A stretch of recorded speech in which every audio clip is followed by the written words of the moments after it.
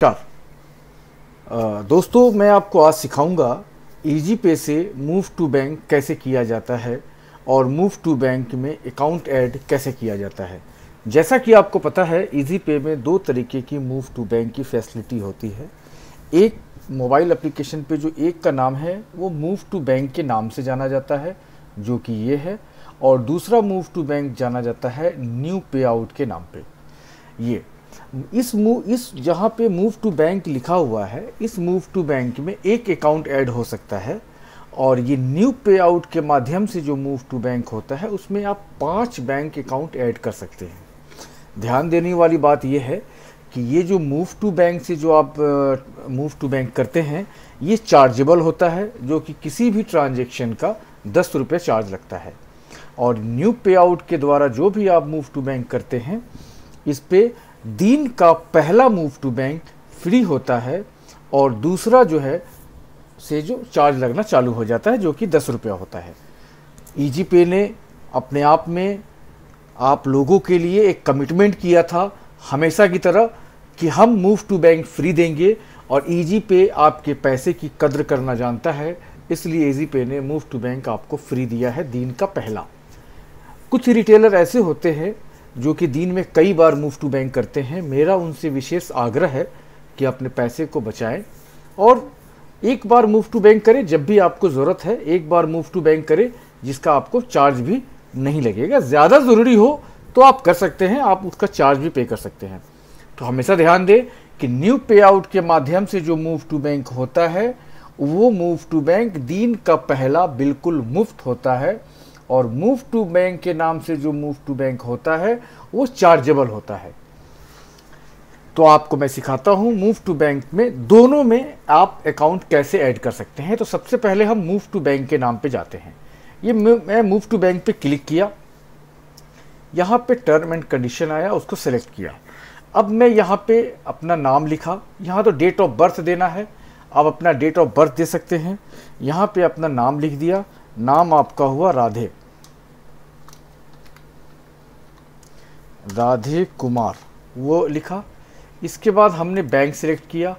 हमारा बैंक है IndusInd bank select किया। यहाँ पे अपना अकाउंट नंबर लिखा।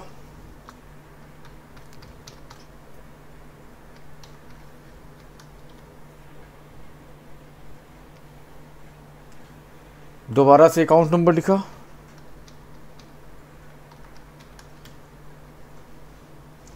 सेविंग अकाउंट है या करेंट अकाउंट है, मेरा तो सेविंग है भाई तो हमने वो लिखा, आपका यदि करेंट है तो आप करेंट भी दे सकते हैं। ब्रांच एड्रेस जो है, ये ऑप्शनल है, इसे देने की ज़रूरत नहीं है। यदि है तो आप दे सकते हैं। उसके बाद ये I accept all term and condition पे क्लिक किया, और ये प्रोसेस रिक्वेस्ट को हमने दे दिया। अब देखिए, ये मूव टू बैंक जो है हमारा बैंक कंपनी के पास रिक्वेस्ट चला गया। बैंक के वाई प्रोसेस एड एडमिन कुछ देर के बाद ये ऑटो अप्रूव हो जाएगा। उसके बाद आप मूव टू बैंक कर सकते हैं। अब मैं आपको बताता हूँ न्यू पे आउट के माध्यम से मूव टू बैंक में अकाउंट कैसे ऐड किया जाता है। ये न्यू पे आउट के माध्यम से किया। यहाँ सबसे पहले पहले से मेरा अकाउंट ऐड है। मैं दूसरा अकाउंट ऐड करता हूँ तो ये ऐड बैंक वाले ऑप्शन पे गए सेलेक्ट बैंक पे गया। मेरा इंडसिंड बैंक का अकाउंट है। मैं इंडसिंड बैंक को सेलेक्ट किया। यहाँ पे अपना नाम दिया।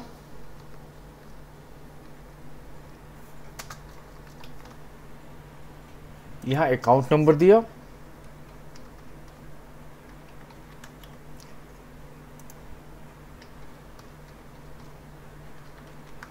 ध्यान दीजिएगा बैंक सेलेक्ट करने के साथ ही आईएफएससी कोड ऑटोमेटिक आता है।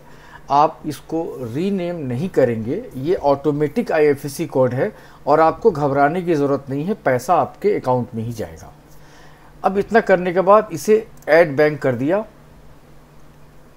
और ये अकाउंट इंस्टेंट ऐड हो गया। उस वाले मूव टू बैंक में अकाउंट जो है, वो कंपनी अप्रूव करती है और इस न्यू पे आउट से जो मूव टू बैंक करेंगे तो ऑटोमेटिक इंस्टेंट हो जाता है। जैसे ये मैंने अभी किया इंडसिंड बैंक, ये वाला है मेरा अकाउंट अब मैं आपको बताता हूँ कि मूव टू बैंक किया कैसे जाता है।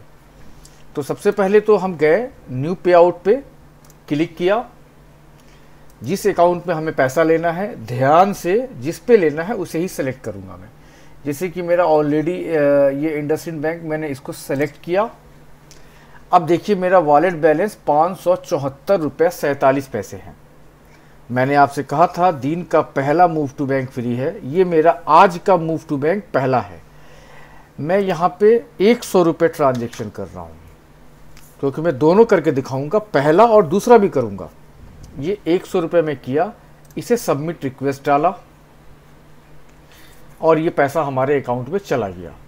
अब मैं वॉलेट हिस्ट्री एक बार चेक कर लूँ अपना बैलेंस ये देखिए, चार सौ चौहत्तर रुपये सैंतालीस पैसे। हमारा पैसा हमारे बैंक अकाउंट में आ गया। ठीक है? अब मैं आपको दिखाऊँगा दूसरा।